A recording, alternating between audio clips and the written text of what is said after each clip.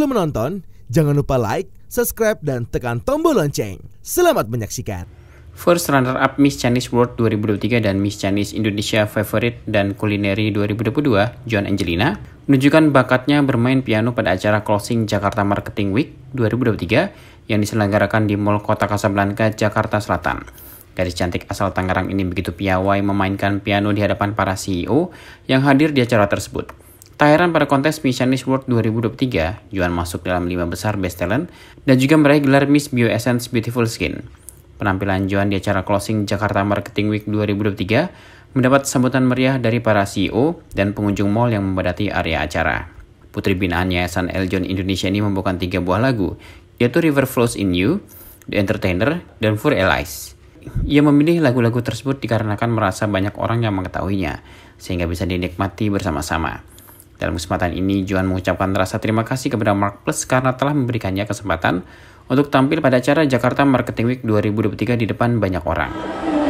Di acara closing Jakarta Marketing Week tadi, saya membawakan tiga buah lagu. Yang pertama itu ada River Flow in You, ada The Entertainer, dan juga Furalis. Kenapa saya membawakan tiga buah lagu itu? Karena saya rasa tiga lagu tersebut sudah banyak di, diketahui oleh sehingga bisa lebih dinikmati. Perasaan saya senang sekali bisa mendapatkan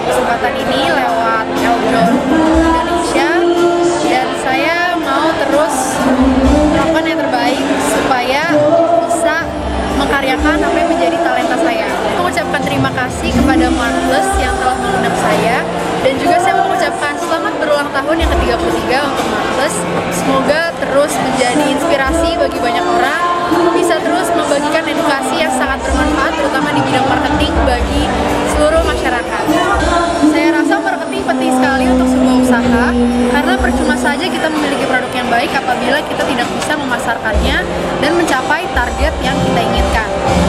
Untuk itu, mari kita sama-sama mempelajari ilmu marketing ini, terutama dari buku-buku yang dikeluarkan oleh Bapak Herman Kartajaya dan Marcus. Selain memiliki bakat bermain piano, Joan juga gemar bernyanyi dan menari.